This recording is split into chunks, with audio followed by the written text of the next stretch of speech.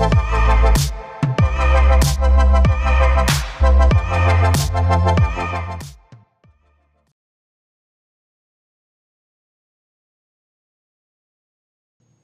pledge allegiance to the flag of the United States of America and to the republic for which it stands, one nation, under God, indivisible, with liberty and justice for all.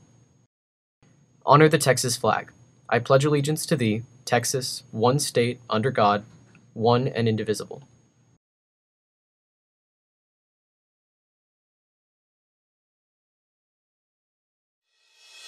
We should all feel safe at school. Threatening to hurt or kill someone at school is not cool. Making any threats in person or on social media can get you in serious trouble. And rumors can be just as harmful. If you see it, if you hear it, don't spread it, report it. As you know, there have been recent threats in the district. It is no joke to show pictures of weapons or make threats to hurt or kill someone at school, in person, or on social media. If, you, see it, if you hear it, don't spread it, report it. If you see something that affects your safety or the safety of the school, please let a parent, AP, teacher, or counselor know immediately. If it doesn't feel right, say something. Protect yourself, your friends, and your community. If you see it, if you hear it, don't spread it, report it.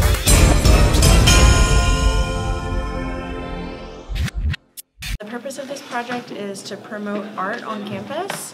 Today is Big Art Day and March is Youth Art Month. And so for my sculpture two and three, I had them create a tape art mural that also exhibits something that's three dimensional.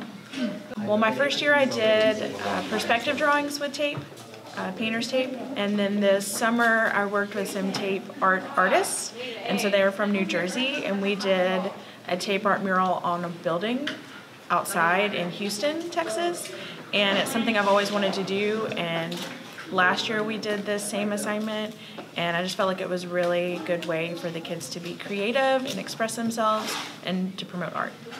I think they were excited about it, and then I can see their excitement in the projects because their drawings are large, um, they're really detailed, and they're motivated. They're working, so it's just awesome.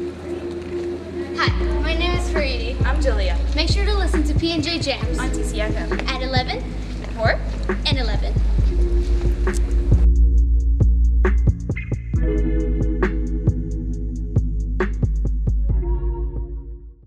The Winter Olympics may be over, but ice skating isn't for Timber Creek Junior Allison Ulrich. I started skating when I was in second grade, so like eight years ago. I love spinning, it's so fun.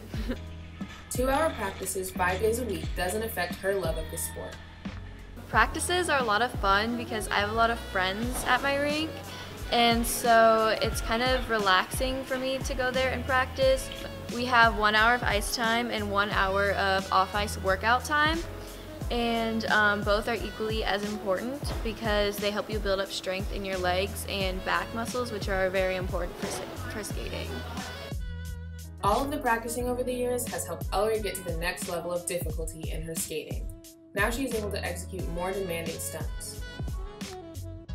Jump wise, I am starting my doubles, which means I have like I'll jump into the air and do two rotations and then land. My spins are a lot better than my jumps. I can do a camel, jump camel, um, catch, sit spin, back scratch, which is like just a bunch of different spin transitions kind of, like while doing one spin, I guess. The amount of time that you skate really matters uh, versus like one, one hour a week versus like five can really make a difference.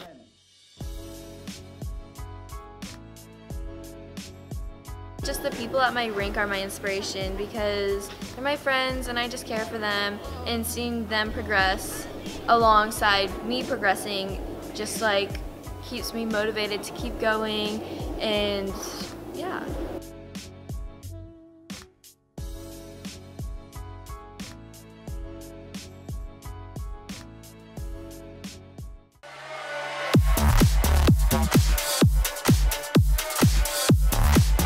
stop, stop.